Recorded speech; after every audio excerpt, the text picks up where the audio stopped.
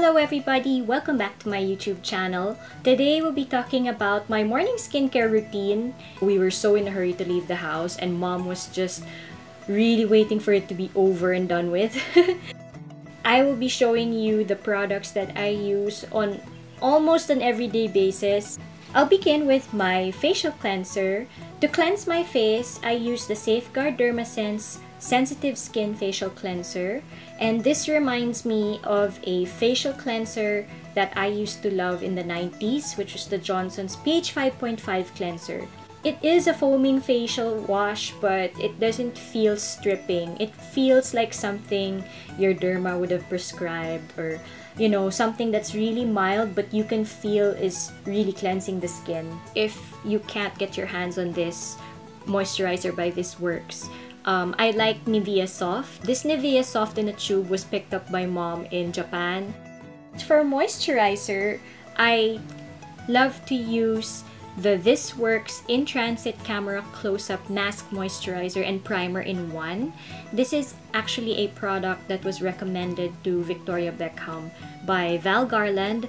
Val Garland is one of the world's top makeup artists uh, MAC Cosmetics use her all the time for their campaign material. She swears by this moisturizer and primer because it's a moisturizer that works well under makeup. It's got mostly natural ingredients and it's very gentle and has a bit of caffeine to help wake up the skin. Next, after moisturizer, I like to put on sunscreen. I use the VMV Hypoallergenics Armada Face Cover in SPF 45.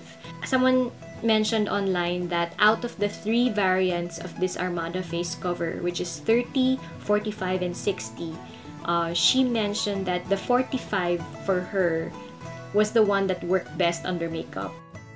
Yeah, VMV Hypoallergenics Armada face cover in SPF 45. That's my sunscreen for the face.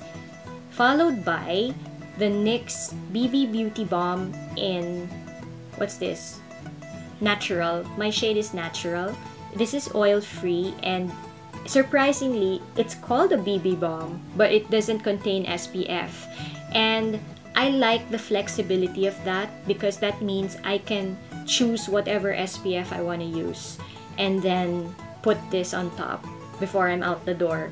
Yeah, um, because I, I know a lot of BB creams automatically have SPF. I actually don't know why this is called a BB cream but it's oil free. I love that it's oil free.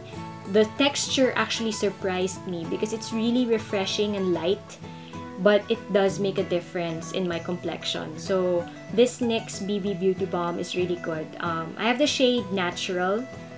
I really like it. So this is what I've been using. If I want to use powder, I really like this base underneath because it's not so heavy.